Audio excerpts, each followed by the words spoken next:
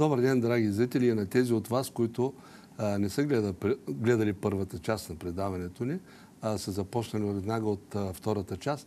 Искам да ви кажа на всички, че всичките сто и няколко предавания на Нови Хоризонти а, са качени на YouTube, не в интернет. В YouTube трябва да отидете и там да напишете просто скат, Нови Хоризонти и ще ви излязат всичките предавания. Има там обаче един бутон долу в дясно, а, който трябва да натиснете всички. Той е на английски написано All. А, така че може да гледате и първата част по а, YouTube Скат Нови хоризонти. А, втората ни част а, е свързана пак с а, нашата тематика земеделието. В първата част казахме за това, а, че климатичните а, промени а, бих казал, промените във времето, защото климатичните промени са промени, които стават на 100, на 200 години, на по-големи периоди, докато на климатичното време промените те стават нали, всяка година за себе си и България беше разделена на две. Западна част, която сега стопаните получиха добра реколта, а, пък източната част бедства. Суша невиждана до сега. И в тази връзка аз се замислих, а, че България в много отношения е преминавала и в миналото през а, такива кризи, но тъй като миналото малко се поотдалечи, възрастното население сега мина седмицата 9 септември празнува, ах, колко хубаво беше а, преди 9 септември, ах, колко, какви добиви имахме големи. А, не се спомнят обаче, че стояха на опашки да си купят лук. Не се спомнят една друга подробност, че 89-та година, 10 ноември, в България започна нали, преврата. Стана, започна, така да се каже, ерата на демокрацията. И само след няколко месеца правителството на Андрей Луканов обяви държавен банкрут. И сега искам а, да, ви, да попитам моя гост, професор, доктор на педагогическите науки, с дълъг жизнен опит, Владимир Радулов. Защо през зимата на 1990 година България обяви фалит, държавен фалит, след като всичко по времето на социализма беше много добре, с много голямо производство, с АПК-та, пакове. Как така стана, че обявихме само след няколко месеца банкрут? Не се занимавам с политика, не членувам в нито една партия, нито при социализма, нито сега. Аз говоря като, като гражданин и като човек, който работи в областта на педагогиката и по-специално на специалната педагогика, но ние сме загрижени за възпитанието на нацията. И това не бива да се забравя тези, които работим в областта на образованието. А, аз не, не мога да дам някакъв много професионален економически отговор, но искам да кажа, че винаги миналото изглежда по-романтично, защото нашето поколение тогава беше много по-младо. А младостта прощава много неща, колко романтични бяха. Примерно бригадите, младежките, колко романтични бяха. Беше строителството, колко романтично лагерите, в смисъл почивните лагери и така нататък, и така нататък. Но ние, нашия народ страда, когато му изнася от късопаметност. Той много бързо забравя, когато обичаш един народ, ти трябва да му казваш и неговите слабости. Нашата задача на интелигенцията е да сръгваме от време на време този народ, да го будим и когато трябва да бием камбаната. А, сега е модерно думата корупция. Корупция, корупция. Като че ли корупцията се е появила оне ден. Забравихте ли, че по време на Тодор Живков, моето поколение имаше една много смешна приказка. Да ти умрат връзките. Това беше една клетва. Ами, Тодор Живков беше човека, който разврати българската нация. Още от тогава започнаха нещата. Така че тя не е дошла нито от Марс, нито от Юпитер. Тя си е наша, тя си е наше творение. Радулов, но тя смятам, продължава. че постигна, достигна наистина едни размери, които а, държавата всъщност после ще покаже някой... Но да, да не избягам от отговора. Но който се, голяма корупция цари в България. Който се съмнява в, в, в промените на, на 10 ноември, нека да прочете доклада не на кой да е, а на Петър Младенов. Той много ясно казва на какъв хал... Кога е написан този доклад? Сме били... Еми, той е написан в 1989-90 година, в този период, прехода, след 10 ноември. Нали? А, значи декември месец 89-та, края на декември. Да, мисля, да. Тогава а какво е, какво е всъщност? Аз не съм го чул този доклад. Ами в този доклад той критикува слабостите. Нали? И който се съмнява в това, нека да го прочете. И да не забравяме колко се чакаше за един автомобил 10 до, до 15 години. Да не забравяме, че в София в събота след обяд много трудно можеш да си купиш хляб.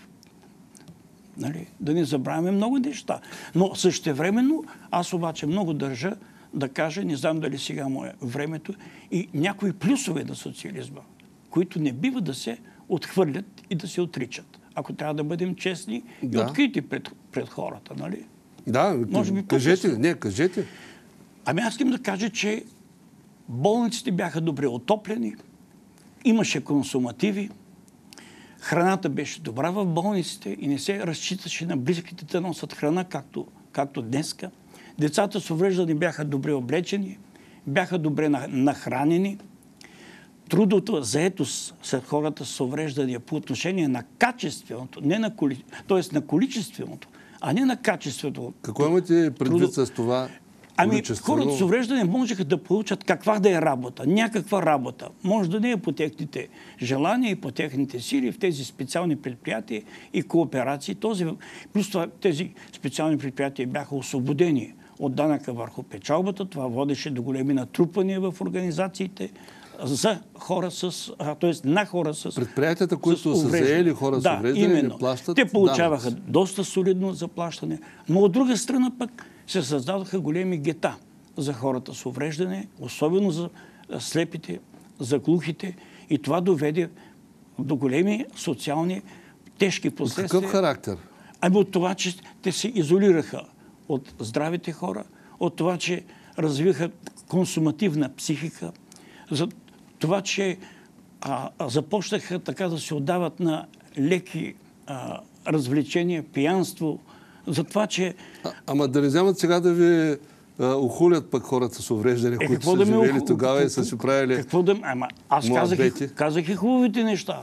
Защо трябва да крием хубавите неща? А, а, а, професор Радулов, аз искам да покажа на нашите зрители едно сравнение, драги зрители, като говорим сега, защото всеки е, би казал така, бе, Петров, само черногледство, бе. Абе, толкова много производство, производство имаш, толкова хубаво беше при Бай Тошо. Айде сега да видим таблица 4, а, за да видите, драги зрители, за какво става дума в времето на Тодор Живков, колко зърно се е произвеждало. От, вижте, 85-та година от 18 милиона и половина декара се е произвеждало 5 милиона и 380 хиляди тона зърно. Вижте сега най-долу, 2018 година, от по-малко декари, 18 милиона 170 хиляди, значи около 300 хиляди декара по-малко, се произвежда два пъти повече а, зърно. Тук става въпрос за пшеница, и чемик, овес, царевица. За какво става дума? Същата площ. По-малка. Два пъти по-големи добиви. Вижте и другите нали, години как се е развивала цялата картинка, но тя върви се в а, такава посока. Благодаря за таблицата. А, трябва да бъдем честни с а, себе си.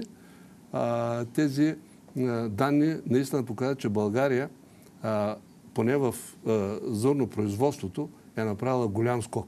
Двойно повече се получава от същите декари, а, което а, е добре. От друга страна обаче, а, това, което каза и а, професор Радулов, ние станахме прекалено студени. Станахме прекалено така, не се интересуваме от а, хората, които са с увреждания които наистина имат нужда не само от а, държавни нужди. А, професор Радулов, нали има, защото аз не съм много добре запознат, нали има неправителствени организации. Те какво правят те обединяват такива хора. Дъщеря ми беше в такава, с, ходеше в едно карита стан с едни деца. Искам да кажа следното, че отношението към хората с увреждане няма да се пускаме в историята, се променя според това доколко е стабилна една държава и доколко тя има отношение към хората с увреждане. Например, римската държава, която юристите твърдят, че това е най-добре направената държава, да го кажем така по-елементарно в историята на човечеството, е имало много по-лошо отношение към хората с увреждане, отколкото в Древна Гърция, в Атина, да речем. Та говорейки за днешното положение, има три проблема около хората с увреждане. Независимо дали те живеят на село, в субурбанистичните райони, в градските райони, в, на Аляска или в Сибир, в Австралия или където и да било, каквито и да било географски пояси и от какъв цвят са на кожата. Това няма никакво значение. Увреждането е неутрално към тези неща. Но искам да акцентирам върху това, че тези три проблема са следните. Първо, хората с увреждане трябва да се стремят да променят себе си, да формират адекватно отношение към собственото си увреждане. Трябва да кажат, аз искам да се състезавам с себе си, не толкова с другите, да победя собствените си слабости и да бъда като другите. Това е много важен проблем. Второ, обществото трябва да промени отношението към хората с увреждане. Това е един много бавен процес.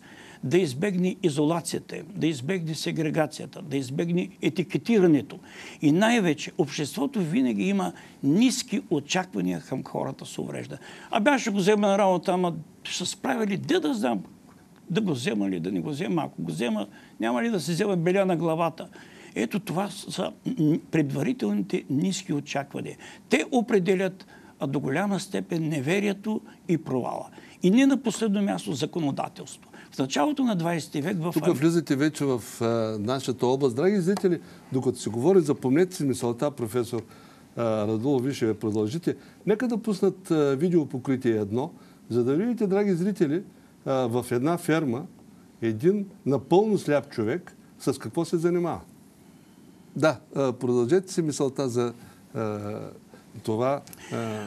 Ами, в а, началото на 20 век в селските райони на Съединените щати една група хора са предложили на американската държава да разпредели на калпак всички пари, които в американския бюджет се предвиждат за хората с увреждания и държавата да не се занимава повече с тях.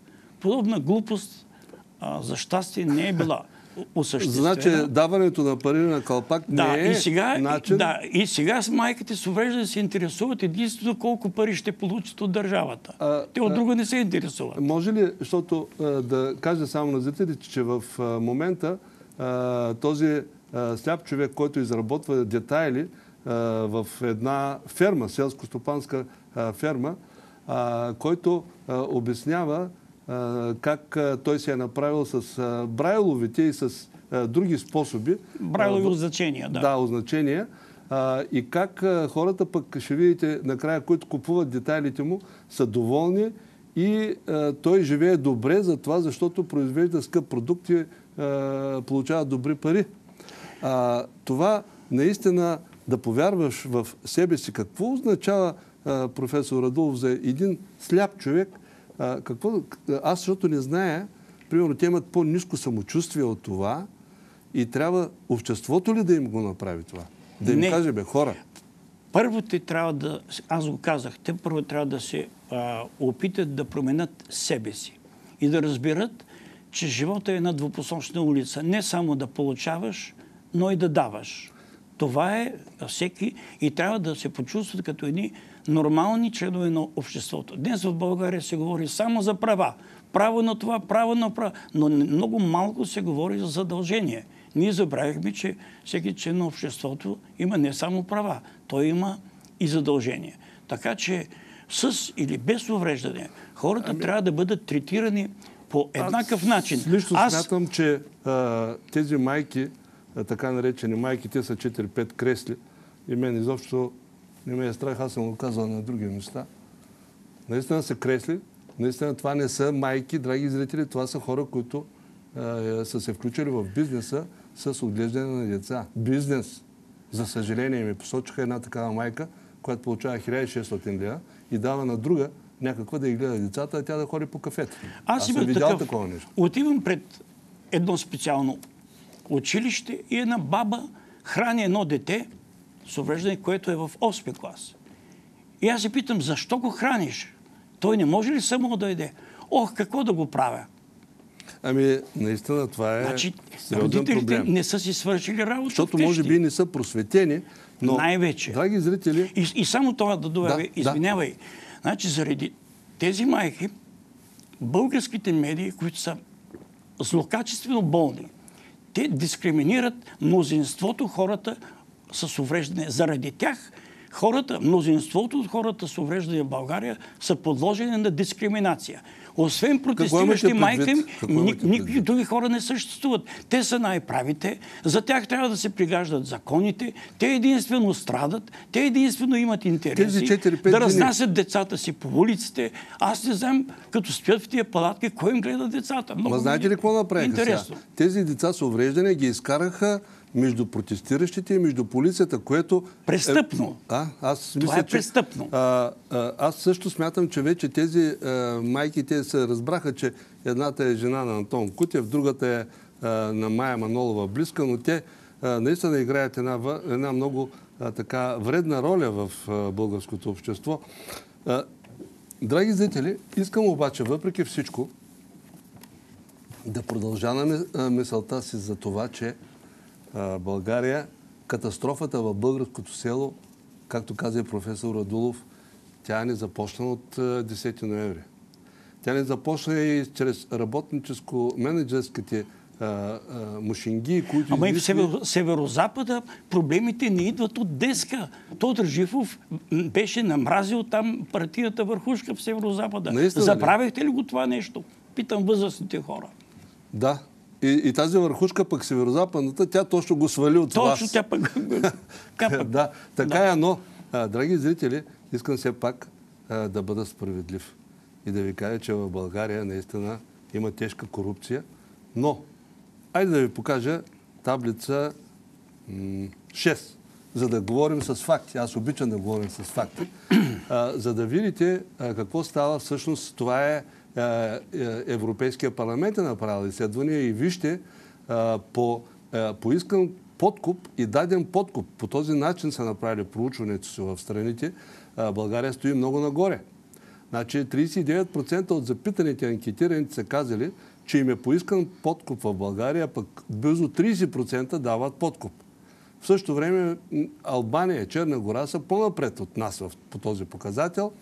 Но вижте, драги зрители, къде е, е, е една Харватия. 10% е поискан подкуп и 9% са дали подкуп. Нещо, което е коренно различно от а, България. Четири пъти.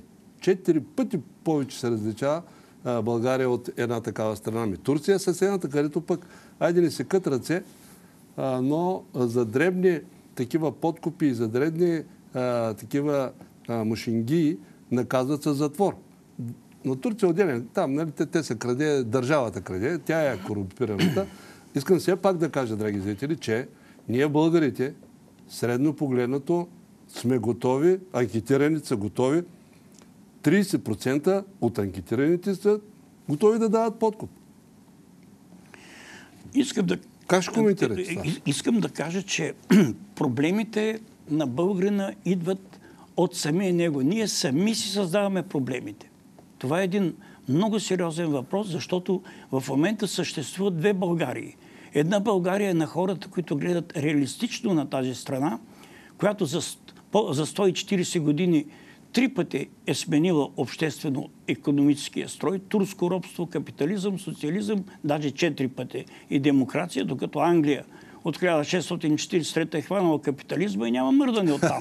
Го добър, това е положението. Ами, благодаря. Е, как, как, как искате тази страна да, да, да направи чудо? Може да сравниш москвича с Мерцедес, за да сравняваш Можем. България с Германия или с Франция. Тъй като Ще сме най-бедните. Ами, отиваме към края на предаването. не, само да призова. Обръщайте се по селата, по малките градове, към местните неправителствени организации. Те получават пари от държавата и са длъжни да се грижат за вас. И имат пари. Притискайте ги, Много за да правилно. работят с Това вас. е добър. И искам само да покажем таблица 5, най-накрая, защото обещах на зрителите. Просто да ви кажа, драги зрители, освен другите срокове, които вие сега ще видите, да погледнете последното. Това е заявленията, които трябва да подадете за консерв... конверсиране на лозя. Тези заявления трябва да ги подадете до 15 октомври, за да може да а, получите съответните разрешения да а, преместите вашите лозя или пък да ги направите от а, винени сортове в а, такива за а, а, ядене на грозди. То всичко се яде, но това е, а, така сме го нарекли. Благодаря за таблицата. До следващия път. Благодаря ви на вас, професор Радулов. Дано пак да гостувате в това Желая предаване. успех на предаването.